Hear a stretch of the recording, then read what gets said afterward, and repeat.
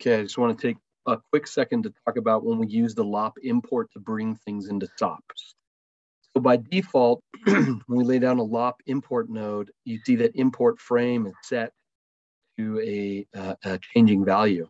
For things like trees and rocks and things that aren't animating, this should be a constant.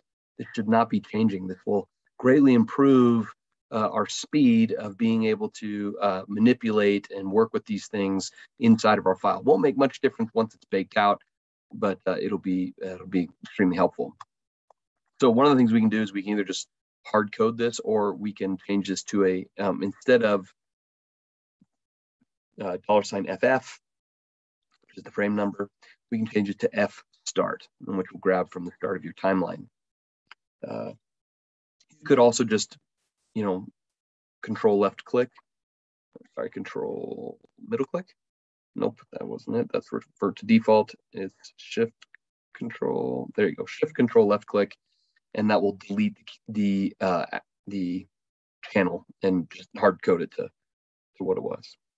I'm gonna leave it like this for now.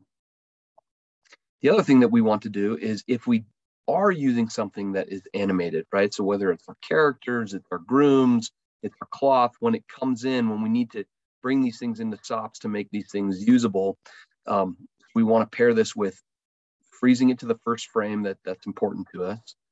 And then what we want to do is each one of these um, usd files is going to have an intrinsic a usd primitive intrinsic called usd frame. And so we can use this set prim intrinsic and then paren and then zero means itself like this first incoming right? And then USD frame is the attribute we're setting. And then on the prim number that we're, we're going to be manipulating. And then at frame is the current frame number. And what this does is it will allow us to pull in the correct data. Uh, I, I don't know with the, the LOP import why this is the better method, although I know this comes from Chris at Side Effects.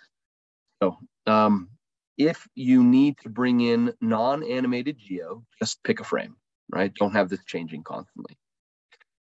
and then if you are bringing an animated geo into SOPs, right, we want to set this to the first frame of our timeline.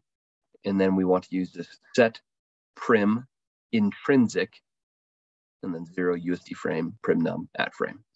And that should help us uh, have a lot more success with uh, optimizing and speeding up some of our LOPS to SOPs workflow.